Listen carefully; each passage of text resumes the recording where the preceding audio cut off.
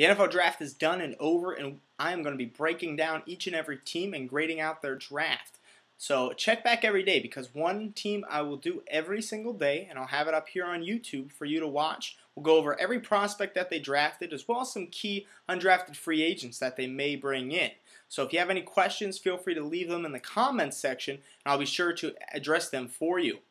Also, just be aware on my draft grades, no one fails the draft, especially right after it. Even no one in this draft is going to get a D or an F from me because they, everyone had a talent. Everyone did something. So if you think the grades are a little bit high, that's just me not going to too much extremes. And maybe in three or four years, when we look back on this draft, then we can see who really succeeded and who really failed. So sit back, relax, enjoy me as I break down every single team this year.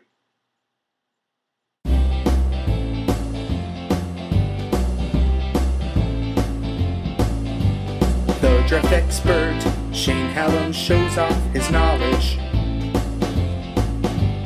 writing mock drafts, prospects from the best college. Breaking down tape, he might develop a man crush. Tearing up guys, taking questions in a rush. Comparisons, learning lessons, Shane saves the day, hoy vey. Or Banner, doesn't matter. Listen, cause here's who can play. Alright, everyone, today we're going to talk about the Philadelphia Eagles, and they had a ton of draft picks. So we're going to have to rip through this pretty quickly to get through them all. In the first round, they traded up and got Brandon Graham, defensive end from Michigan. I do like Brandon Graham more as a 3-4 outside linebacker. I think that was his best fit. He feels more comfortable at linebacker. But as we saw in the Senior Bowl, Brandon Graham can get it done on the ground in his three-point stance, and that's where they're going to play him in Philly. I think he'll rotate in as a rookie, possibly start.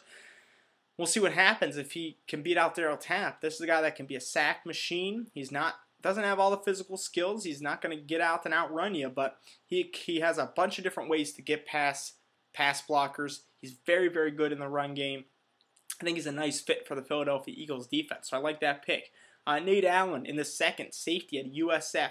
Love this pick as well. One of the best center field safeties in this draft. He's just very good at coverage. Doesn't give you much in the way of run support.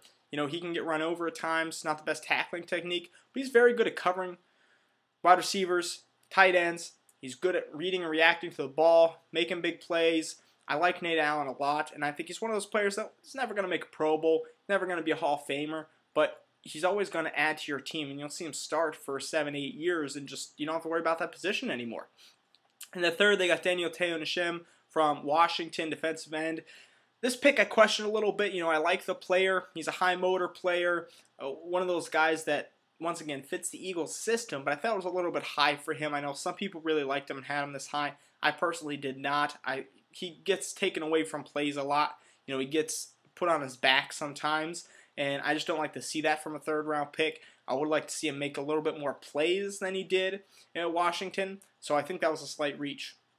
And the fourth, I took Trevard Lindley, cornerback out of Kentucky another reach I felt for the Eagles here. Trevard Lindley, if he would have came out last year, maybe in a first or second round pick, there's talk of a first round pick. That probably wouldn't have happened when you see the offseason workouts, but he had a terrible, terrible season. He got beat consistently, wasn't fast enough, didn't react fast enough. He was really exploited this past season, and that doesn't hold up in the NFL. He played like a seventh round pick this past season, whereas two years ago he played like a second round pick. And so he ended up going to the fourth. I think it's a little high. I don't think he's going to give you much more than, if you're lucky, a nickel corner, probably more of a dime guy that you just can bring in when there's a lot of receivers on the field. So I, I kind of question that pick as well.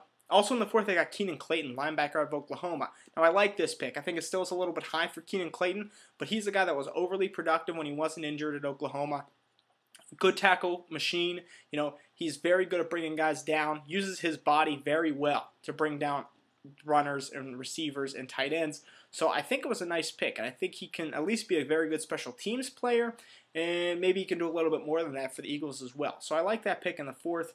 Another fourth round pick, Mike Kafka, quarterback out of Northwestern. This is a great fit for the Philadelphia Eagles. Like you let go of Donovan McNabb, you trade him away.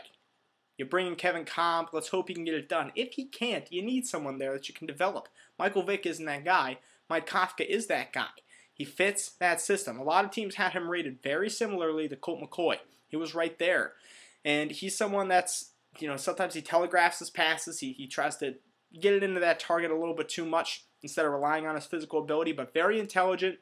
He's had some games where he's thrown a lot of interceptions. He's had some games where he's thrown a lot of touchdowns. He passes a lot in college, and he fits Andy Reid's system very, very well. This is a player that may have a shot sooner rather than later in a pass-happy offense. I like that pickup.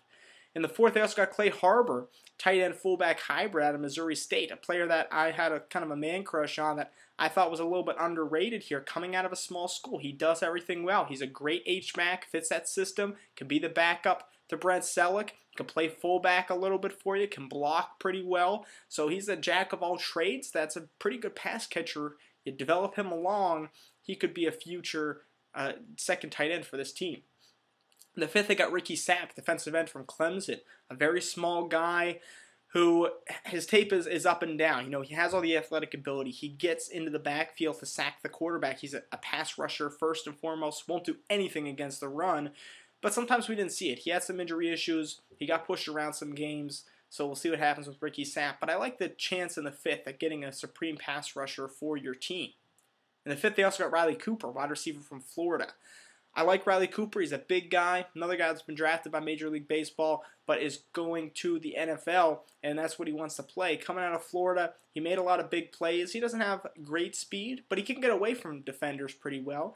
He's pretty physical, good hands, kind of does everything well. I think he's a good, you know, slot wide receiver, maybe a number three guy. Maybe down the line, he can win that slot job. In the sixth, then they got Charles Scott, running back from LSU.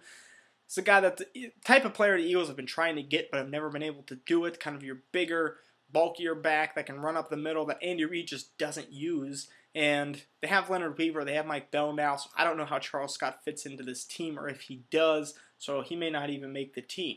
Seventh, I got Jamar Chaney, linebacker, and I love Jamar Chaney. I think he has huge, huge upside. The injury issues are very, very present, but if he stays healthy, he has the full range of abilities. He's a guy that can go sideline to sideline. He's a guy that makes tackles. He can get into the backfield and pass rush. He can lay the lumber on you and punish you for going across the middle or running right at him. I think Jamar Chaney is a great pickup, and I think he can win a backup job to Stewart Bradley there in Philadelphia. Also in the seventh, I got Jeff Owens, defensive tackle from Georgia. Another guy that you saw him in the offseason in some of the All Star games. He looked great, and he got into the backfield and beat some very good offensive lineman. So I really like the Jeff Owens pick. I think he's another someone, another seventh round pick that can make this team. The last pick was Kurt Coleman, safety from Ohio State. Not sure if he makes the team. More of a special teams player, uh, kind of undersized. Doesn't quite have the speed you need for a starter or a player on the field. So we'll see how that works out. So overall, I give him a B plus for the Eagles. I think it was a good draft. Uh, I think I like them trading up for Brandon Graham. I think in the third and fourth round they may be made some picks that were slight reaches. But other than that, some great late round picks for the Eagles, and I think they're going to continue progressing as long as Kevin Kolb is good. So I like that draft. Uh, that, that's about all for me for the Eagles. Tomorrow, San Francisco 49ers.